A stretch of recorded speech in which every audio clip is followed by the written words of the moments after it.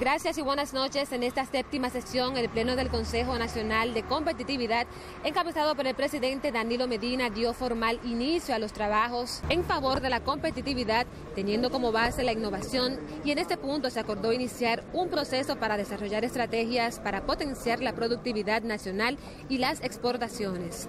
Estas mesas de trabajo tendrán un plazo de 45 días para entregar los resultados y a partir de aquí la República Dominicana contará con una estrategia multidimensional y multisectorial de promoción de la innovación. Durante la rueda de prensa en el Salón Orlando Martínez del Palacio Nacional se anunció procesos de mejora que impacten la productividad empresarial, el emprendimiento, la educación, para así fomentar el crecimiento de la economía. Además, fue anunciado la aprobación de cuatro decretos que serán dados a conocer más adelante.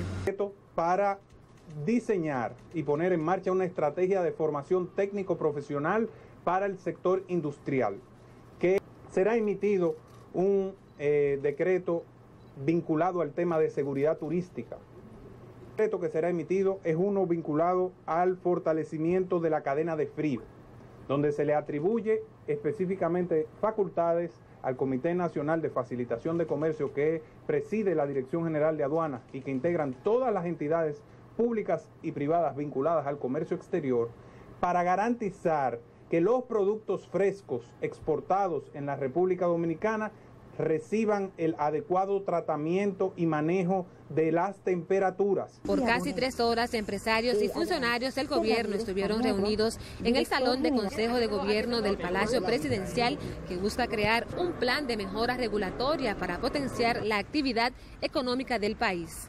Y decir de Charis que al finalizar la actividad, todos los medios de prensa que estuvimos presentes, intentamos conversar con el presidente Danilo Medina para que se refiera a la situación de Venezuela. Sin embargo, el primer mandatario hizo caso omiso. Esta es, de momento, toda la información. Yo regreso contigo al estudio.